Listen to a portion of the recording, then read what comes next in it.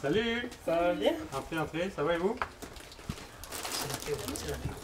Bonjour.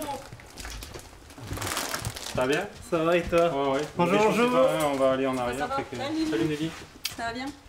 Ça va et toi? Ouais, ça va. Patrice, Salut, salut Patrice. Bonjour, c'est Gwen. Enchantée. Ignorer les chiens, puis ça va bien aller. T'as dit bonjour à Gwen? Non, moi j'ai pas eu de bisous. Ah, t'as pas eu de bisous? Bonjour. Tu t'appelles comment Et t'as quel âge En France, c'est pas là qu'on aurait pu faire notre trou.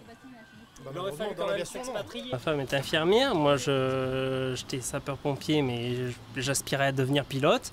On a cherché s'il n'y avait pas déjà une infirmière et un pilote qui avaient tracé le sillon au Canada. Et ben les voilà.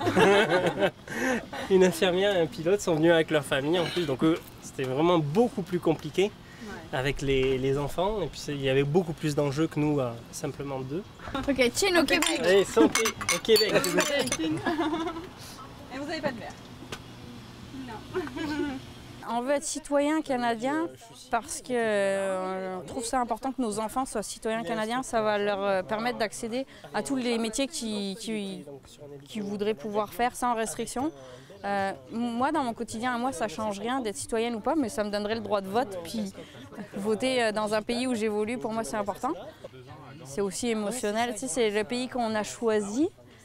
Puis on aimerait ça avoir la citoyenneté du pays où on a choisi de vivre. Hey les amis On fait une photo pour le blog, s'il vous plaît. Cheese